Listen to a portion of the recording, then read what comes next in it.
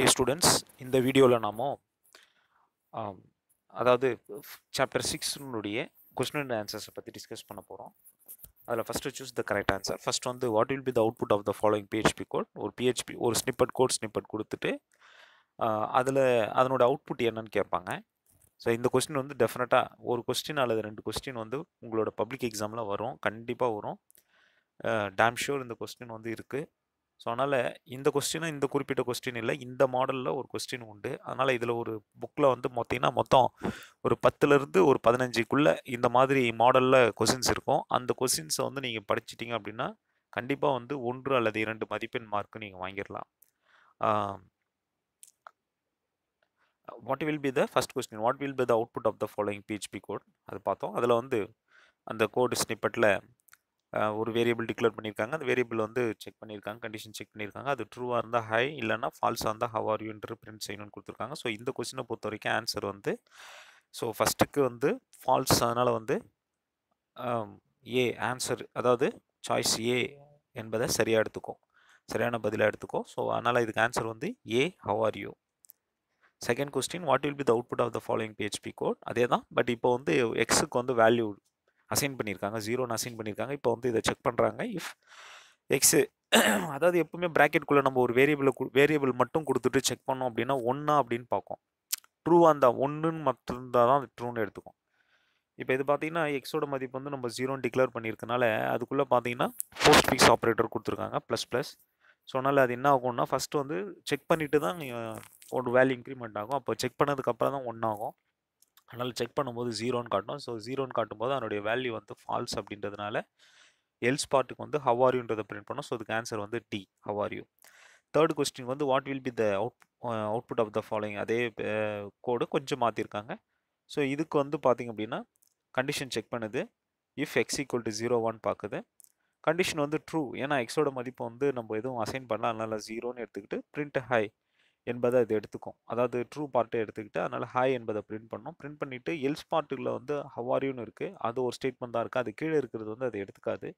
அதனால் ஹெலோன்றதை வந்து டிஃபால்ட்டாக பிரிண்ட் ஆகிடும் ஹாய் ஹலோ என்பது பிரிண்ட் ஆகும். ஸோ இதுக்கு தேர்ட் கொஸ்டினுக்கு ஆன்சர் பி ஃபோர்த் கொஸ்டினுக்கு வந்து பார்த்திங்க அப்படின்னா statement which is use to make choice between two options and only option is to be perform is written as எந்த ஸ்டேட்மெண்ட்டில் வந்து ரெண்டு சாய்ஸ் கொடுத்துட்டு அதனால் ஒரு சாய்ஸ் மட்டும் எடுத்துக்கிற மாதிரி இருக்கும் அப்படின்னா இஃப் எல் ஸ்டேட்மெண்ட் தான். ஸோ நாளுக்கு ஆன்சர் வந்து பி ஃபோர்த்துக்கு வந்து answer B if else statement ஃபிஃப்த்துக்கு வந்து பார்த்திங்க அப்படின்னா ஆன்சர் ஸோ ஃபிஃப்த்துக்கு வந்து எரர் காட்டும். ஏன்னா ஃபிஃப்த்து வந்து பார்த்தீங்கன்னா கோடு இருக்குது பட் அதில் பார்த்தீங்கன்னா ஏ என்ன வேரியபிள் டிக்ளேர் பண்ணியிருக்காங்க. அதுக்கப்புறம் அந்த வே ஏ வந்து ஒன்னான்னு செக் பண்ணியிருக்காங்க. ஒன்று இல்லைன்றதுனால அது வந்து எல்ஸ் பாட்டுக்கு வரும். ஆனால் அதுக்கு முன்னாடி ஒரு இஃப் ஸ்டேட்மெண்ட் கொடுத்து ஒரு கொடுத்துருக்காங்க. ஸோ அது வந்து எரர் டிஸ்பிளே பண்ணும். ஸோ அதனால் அதுக்கு ஆன்சர் வந்து சி ஃபிஃப்த்துக்கு வந்து ஆன்சர் சி சிக்ஸ்த்துக்கு வந்து ஆன்சர் சிக்ஸ்த்துக்கு வந்து ஆன்சர் வந்து சம் அப்படின்னு பிரிண்ட் பண்ணணும். அதாவது பி என்பதை எடுத்துக்கும் ஸோ சிக்ஸ்த்துக்கு ஆன்சர் வந்து பி அதுக்கப்புறம் வந்து செவன்த்து ஸோ செவன்த் ஒன்று ஆன்சர் வந்து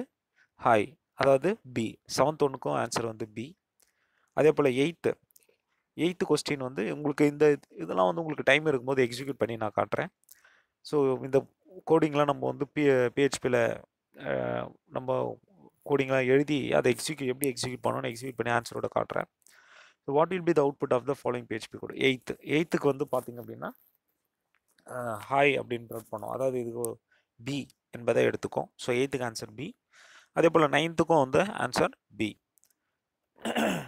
ஸோ நைன்த்து கொஸ்டினுக்கும் ஆன்சர் பி அடுத்தது பார்ட் டூ ஷார்ட் ஆன்சர் இதில் ஃபஸ்ட்டு வந்து short ஆன்சர்ஸில் first define conditional statements in PHP so பிஹெச்பியில் conditional statements வந்து கண்டிஷனல் ஸ்டேட்மெண்ட்னா என்ன அப்படின்னு கேட்டிருக்காங்க டெஃபினேஷன் ஸோ கண்டிஷனல் ஸ்டேட்மெண்ட் அப்படின் போது கண்டிஷன் ஸ்டேட்மெண்ட்டை பொறுத்த வரைக்கும் நம்மளுக்கு வந்து எதுக்கு யூஸ் ஆகுதுன்னா டு மேக் எ டெசிஷன் அதாவது டெசிஷனை நம்ம எடுக்கிறோம். அதை எதை பேஸ் பண்ணி அப்படின்னா கண்டிஷன்ஸை பேஸ் பண்ணி. அதாவது கொடுக்கப்பட்ட கண்டிஷனை வந்து எவாலுவேட் பண்ணி ட்ரூவா ஃபால்ஸா அப்படின்றத அதனுடைய ரிசல்ட்டை பேஸ் பண்ணி நம்ம we are taking an action so அதுதான் வந்து கண்டிஷன் ஸ்டேட்மெண்ட் ஸோ அதனால் ஆன்சர் வந்து பார்த்திங்க அப்படின்னா PHP allows us to write code that perform different actions based on a result of a logical or a test condition. So அந்த ஒரு line அந்த statement வரணும். அதுக்கப்புறம் அடுத்த line you can test condition in the form of expressions that evaluate to either true or false and based on this result you can perform certain actions.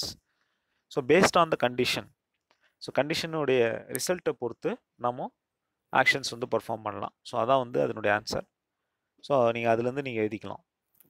இந்த like other program லாங்குவேஜஸ்ன்றது மட்டும் விட்டுட்டு அதுக்கப்புறம் இருக்கக்கூடியதை state அதுலேருந்து certain actions வரைக்கும் இருக்கு இல்லையா அந்த லைன் ரெண்டு லைனை வந்து நீங்கள் எழுதணும். அடுத்த கொஸ்டின் வந்து define if statement in PHP பிஹெச்பியில் வந்து இஃப் ஸ்டேட்மெண்ட்னா என்ன அப்படின்னு கேட்டிருக்காங்க. ஸோ இஃப் ஸ்டேட்மெண்ட்ன்றது இங்கே இருக்கு பாருங்க. The if statement evaluates a condition and executes a set of code if the condition is true the if statement evaluates a condition and executes a set of code. If the condition is true and uh, another set of code if the condition is false. So அந்த line மட்டும் எதனாலே போதும்? If condition என்ன பண்ணுவோம்னா கண்டிஷனை check பண்ணி condition true வந்தால் மட்டும் ட்ரூ பிளாக் ஸ்டேட்மெண்ட் எக்ஸிக்யூட் பண்ணோம் இல்லைனா வெளில வந்துடும் ஸோ அதான் இஃப் ஸ்டேட்மெண்ட் இங்கே இருக்குது பாருங்கள் இந்த இது if statement executes statement or group of statement if specific condition is satisfied as per user uses expectation so அது வரைக்கும் எதுனாலே போதும் இந்த லைன் ஓகே ஸோ அதாவது ஃபஸ்ட்டு பேஜ் அந்த பேஜ் நம்பர் வந்து ஒன் நாட் ஃபைவ். அதில் வந்து அந்த இஃப் ஸ்டேட்மெண்ட் எக்ஸிக்யூட்ஸ் ஸ்டேட்மெண்ட் அதிலிருந்து as per the users expectation வரைக்கும் அடுத்த செகண்ட் கொஸ்டினோட ஆன்சர் அதை குறிச்சிக்கோங்க. நான் உங்களுக்கு வந்து பிஹெச்பி இதை வந்து தனியாக வந்து உங்களுக்கு டைப் பண்ணி உங்களுக்கு அனுப்புகிறேன் பட் இப்போதைக்கு இதில் குறிச்சிட்டு படிங்க. அடுத்தது third question what is if else statement in PHP what is if else statement if else ஸ்டேட்மெண்ட்னா என்ன அப்படின்னு கேட்டிருக்காங்க. ஸோ இது the if statement evaluates condition இப்போ இதை எழுதணும். The if statement evaluates condition and executes set of code if the condition is true and another set of code if the condition is ஃபால்ஸ்னு இந்த இது இந்த ஸ்டேட்மெண்ட் எழுதணும். Okay அதாவது condition ட்ரூனா ஒரு set of statements execute ஆகும். ஃபால்ஸ்னா another set of statements execute ஆகும். ஆனால் simple இஃப்ல வந்து ஃபால்ஸ்ன்ற பேச்சுக்கு இடம் இல்லை. ஏன்னா அதில் எல்ஸ் பார்ட்டுன்னு ஒரு பார்ட் இருக்காது. ட்ரூன்னா மட்டும் ஸ்டேட் ஆஃப் ஸ்டேட்மெண்ட்ஸ் வந்து எக்ஸிக்யூட் ஆகிடும் இல்லைனா வெளியில் வந்துடும் ஃபால்ஸ்னா வெளியில் வந்துடும் அடுத்த கொஸ்டின் வந்து list out conditional statements in PHP just list out பண்ணி காட்டினா போதும். இதாவது இந்த இந்த ஆன்சர் இங்கே கொடுத்துருக்காங்க இல்லையா? The following statements in PHP help us to make decisions போட்டு if statement if else statement if else if else statement and ஸ்விட்ச் ஸ்டேட்மெண்ட் ஸோ இது வரைக்கும் எதுனா போதும். அடுத்தது write the syntax of the if else statement in PHP syntax கேட்டிருக்காங்க. So இந்த blue கலரில் இந்த பாக்ஸ் இருக்குது பாருங்கள் அதை நீங்கள் எதுனா போதும். எக்ஸ்கியூஸ் மீ இது வந்து just minute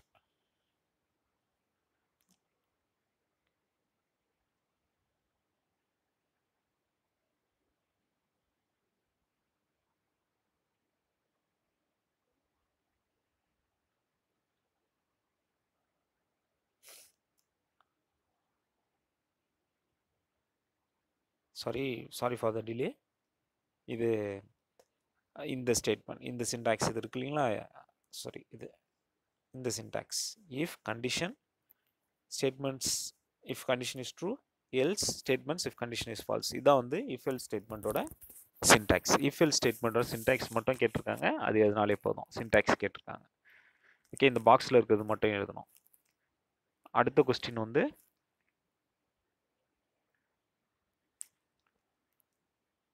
define if else if else statement in PHP define if else if else statement. PHP ல if else if else. So இந்த ஸ்டேட்மெண்ட் பற்றி கேட்டிருக்காங்க. இது தேர்ட் இல்லையா? இதோ இருக்கு பாருங்க. இது ஜஸ்ட் டிஃபைன் பண்ண சொல்லியிருக்காங்க. இதை பாருங்கள் டெஃபினேஷன் எதுனா போதும். If else if else statement is a combination of if else statement here multiple conditions can be checked and action is based on the result of the condition அது வரைக்கும் எழுதினா போதும். ஸோ இதுதான் வந்து அந்த கொஸ்டினுக்கு உண்டான ஆன்சர் அடுத்தது ஏழாவது question write the usage of ஸ்விட்ச் ஸ்டேட்மெண்ட் இன் பிஹெச்பி பிஹெச்பியோட யூசேஜ் கேட்டிருக்காங்க. ஸோ சின்டாக்ஸ் தேவையில்லை. யூசேஜ் மட்டும் எதுனாலே போதும். அடுத்த கொஸ்டின் வந்து சின்டாக்ஸ் கேட்டிருக்காங்க. ஸோ அப்போ சின்டாக்ஸ் எதுனா போதும். இது எதுனா போதும். So the switch case is an alternative to the if else if else statement which executes a block of code corresponding to the match. அது எழுதினா போதும். அதுக்கு அடுத்த கொஸ்டினுக்கு இது எழுதணும். சின்டாக்ஸ் கேட்டிருக்காங்க. அடுத்த கொஸ்டின் அது எழுதணும். அதுக்கு அடுத்த கொஸ்டின் வந்து இஃப்பையும் இஃப் எல்ஸையும் கம்பேர் பண்ணி கேட்டிருக்காங்க. ஸோ இஃப் பார்த்தீங்க அப்படின்னா இது வந்து ஒரு செட் ஆஃப் ஸ்டேட்மெண்ட்ஸ் எக்ஸிக்யூட் பண்ணோம். பட் கண்டிஷன் சாட்டிஸ்ஃபைனாக தான் அந்த செட் ஆஃப் ஸ்டேட்மெண்ட்ஸ் எக்ஸிக்யூட் பண்ணோம். இல்லைனா வெளியில் வந்துடும் அதான் இங்கே கொடுத்துருக்காங்க. If statement executes a statement or a group of statements if a specific condition is satisfied அது வரையும் அதனாலே போதும்.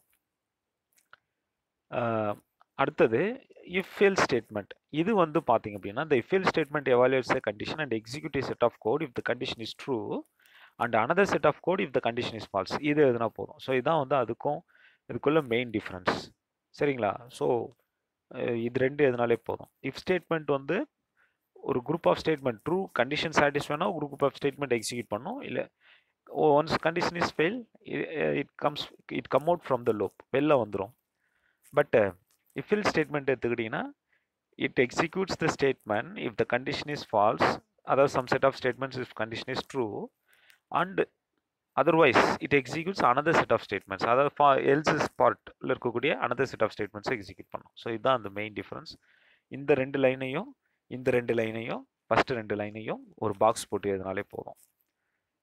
ஆக டூ மார்க் கொஸ்டின் வந்து நம்ம பார்த்து டூ மார்க் கொஸ்டின் வந்து பார்த்துருக்கோம். அடுத்தது வந்து three mark question five mark question இதை நான் உங்களுக்கு அடுத்த வீடியோவில் போடுறேன். தேங்க்யூ